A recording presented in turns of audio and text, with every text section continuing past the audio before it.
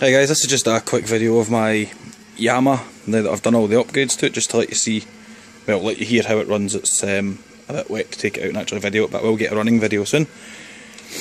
This is it with its FG exhaust on it.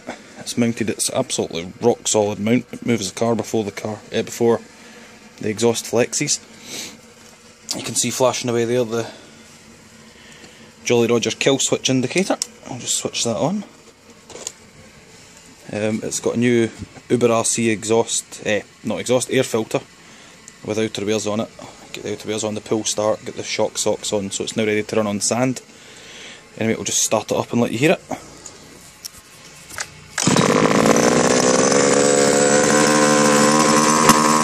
Starting first pull.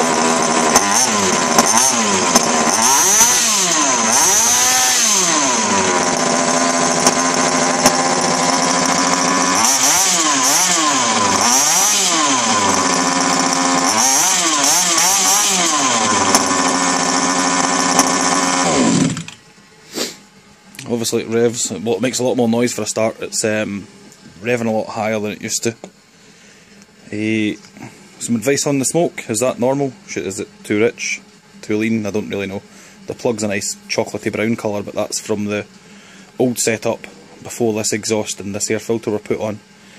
Um, anyway I thought I'd let you have a look at it. Cheers guys.